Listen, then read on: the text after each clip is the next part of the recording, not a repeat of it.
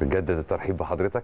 سعداء بوجودك معانا وزي ما انت طبعا متوقع عندنا تفاصيل كتير قوي عايزين نتكلم معاك فيها تخص الماتش اللي فات واللي اصداؤه يعني ابتدت بقى تتوالى يعني خلال الكام ساعة اللي فاتت حتى بما فيها الأصوات اللي بتطالب بإجراء تحقيق إن يعني إزاي فريق زي النادي الأهلي ما بيصرفش 10% من اللي إحنا بنصرفه عشان يجيب نجوم عالميين ويعمل فينا اللي اتعمل ده ما معناه يعني بصيغة أو بأخرى. فرؤيتك لل- للواقع ده إيه؟ لا هو الأهلي طبعا عمل زلزال آه، في كأس عالم الأندية. طبعا دي مش مبالغة دي حقيقة فعلا لأن النادي الأهلي لو جينا نتكلم على أربع آه، يعني مش عايز أقول مكاسب ولكن آه، يعني بقدر ما هي يعني نتائج وصلنا لها بعد مباراة اتحاد جدة أنت اولا ظهرت شخصية النادي الأهلي. شخصية النادي الأهلي اللي الناس كلها اتكلمت وتحدثت خلال المباريات الأخيرة أين شخصية الأهلي وأين قوة النادي الأهلي؟ والأهلي بيتعادل الأهلي بيتراجع الأهلي بيخسر الدوري الأفريقي الأهلي بيخسر بطولتين في أقل من شهر مع كمان اتحاد العاصمة الجزا- الجزائري في كأس السوبر. أين الأهلي وأين شخصية الأهلي؟ فظهرت شخصية الأهلي في المواقف الصعبة كالعادة. الأهلي هو كان نجم الشباك في كأس العالم للأندية لأنه خلف مش عايز أقول كافه التوقعات ولكن معظم التوقعات. كان في رأي عام وإعلام سعودي غير طبيعي طبعا مع اتحاد جده حقهم توقعات وأمنيات كمان عند البعض. طبعا طبعا طبعا حقهم. حقهم اولا في السعودية إن هم آه، يقفوا خلف فريق اتحاد جدة. طبيعي. حقهم إن هم يحلموا إن هم يصلوا لنصف نهائي كأس عالم الأندية ومن ثم نهائي كأس عالم الأندية. حقهم بعد الفلوس الكتير قوي الملايين اللي اتدفعت فيه اللاعبين. عايز أقول لك إن القيمة آه، التسويقيه للاعبي اتحاد جدة ثلاث أضعاف آه، قيمة التسويقية للاعبي آه، نادي آه، الأهلي. وفابينيو طبعا البرازيلي كان متصدر هذه القيمة. فصعب جدا الكفه هنا صعبه قوي أمام النادي الأهلي. ولكن بعبع إفريقيا ظهر ولكن آه، الأهلي نجح إن هو يظهر شخصيته أمام العالم مش اتحاد جدة فقط طبعا. فده أول مكسب. عودة شخصية الأهلي أمام العالم. مش هقول أمام الجميع بقى ولا أمام الإعلام ولا أمام آه، ولا في الدوري المصري ولا لا لا لا خالص. ده أمام العالم. ده رقم واحد. رقم اتنين مارسيل كولر يا جماعة. هذا المدير الفني اللي واجه كم وسيل من الانتقادات غير طبيعية تماما. كذا مرة قلنا إن كولر مدير فني قوي جدا.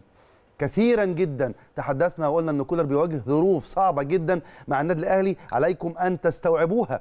كثرة البطولات تعاقب المباريات الإجهاد للاعبين الإصابات الصفقات كلام كثير جدا. الراجل قدر إن هو يظهر شخصيته على المستوى التكتيكي وعلى المستوى الفني وعلى المستوى الخططي. أبهر جماهير الأهلاوية وصدم العالم في هذه المباراة لأنها كانت مباراة صعبة قوي. طبعا. ده تاني آه شيء. ثالث شيء طبعا كان مهم هي لاعبي النادي الأهلي. اللاعبين دول اتهاجموا الفترة الأخيرة بشكل آه، شرس.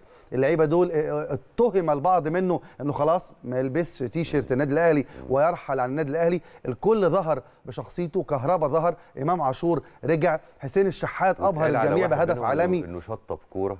مين؟ واتقال على حد آه, معين آه إنه طبعا. وخلاص بقى المصطلح و... ده اتقال آه عليه. والقصة انتهت. وأثبت العكس أهو. طبعا. وبيرسي تاو اللي أنا تحديدا راهنت عليه من أيام ما جابه موسيماني. وقلت إن هو جناح طائر غير طبيعي. طب مش ولاعب هتراهن على مودست؟ مودست؟ لا لسه.